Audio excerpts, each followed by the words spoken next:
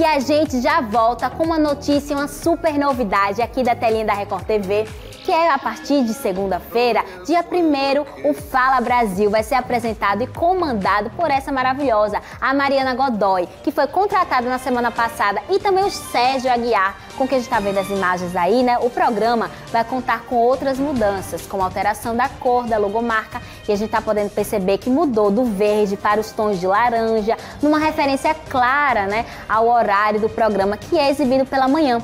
Então a Mariana Godoy tá vindo com tudo e ela já compartilhou nas redes sociais que é mais um ciclo que ela está iniciando, mais uma luta aí para ela, né? E lembrando que o César, é, o Sérgio, na verdade, a Guiar já está participando do Fala Brasil e ela vai chegar para se juntar a ele, para brilhantar ainda mais as manhãs da Record TV, aqui da telinha da TV Pajussara também para vocês, minha gente. É muito luxo, é muito maravilhosa. E ele também, o Sérgio, ao lado da Mariana Godoy, vai ser uma ótima dupla. Eu tenho certeza que vai ser muito, muito bom, gente.